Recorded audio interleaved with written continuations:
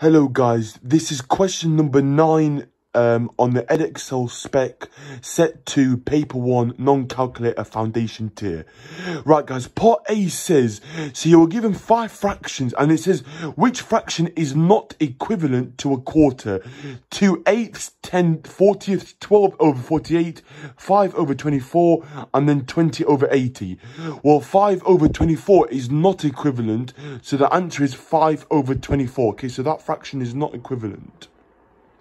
Okay, part B, guys. It says work out two sevenths plus one fourteenths. Well, I've got I've got to put it under this um, common denominator.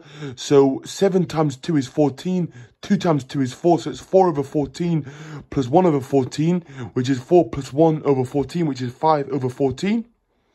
And then part C, work out 4 fifths divided by 3 tenths. And then the question says, give your answer, here as a mixed number in its simplest form. So, um, dividing fractions is the KFC method. Keep, flip, change. 4 fifths times 10 thirds. Okay, yeah. So then I get, yes, so then I cancel down the 5 and the 10. So I got 4 times 2 over 1 times 3. So I divided top and bottom by 5. Okay, um, so I got 4 times 2, which is 8, and then 1 times 3 is 3. Yeah, so 4 times 2 is 8, 1 times 3 is 3.